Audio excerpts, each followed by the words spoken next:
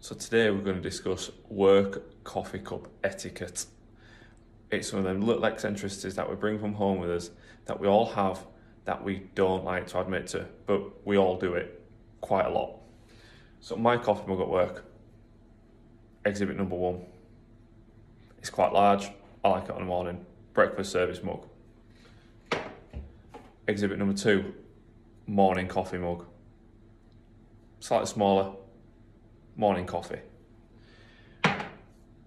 Everyone brings theirs from home. It's part of them. They bring it with them. We like to use it. We don't like anybody else to use it. However, when when a tradesman comes to site, the plumber, the builder, the window cleaner, anybody like that, it's nice to offer them a coffee. And we do, we offer them a coffee, then suddenly we think, oh no, what mug are we going to put it in? Because I don't want to put it in mine. I don't want anyone else drinking out of my mug. And you think, who's not working today? Who's not working? Who, whose mug can I give them? He, he starts searching. You know, I've not. They're not in today, so it's going to be their mug. But then, what happens if they find out? Are they then going to give your mug away to someone? It's a minefield. And then there's also the novelty mug. It's usually something that someone's been given for Christmas by a friend or something like that. It's usually something that can't stay in the cupboard at home in case your mum brings your nan around and finds out it's in there and it gets given to her or she sees it by accident. So, and that looks something like this. So one of these little heat sensitive bad boys with this fella on.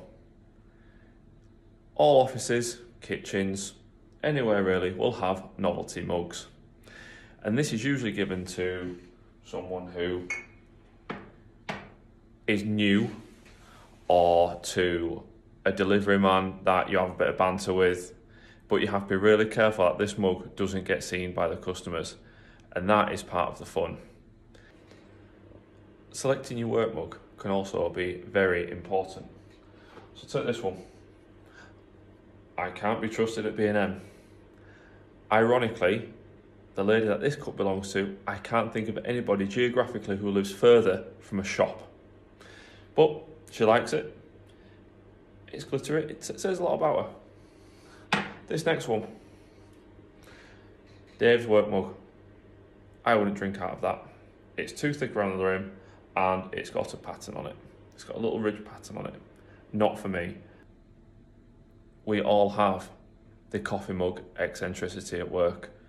It needs to stop. It won't stop. I certainly won't be stopping, but I think it needs to stop. So put a picture of your work mug in the comments below. Uh, thanks for watching. We'll see you next time.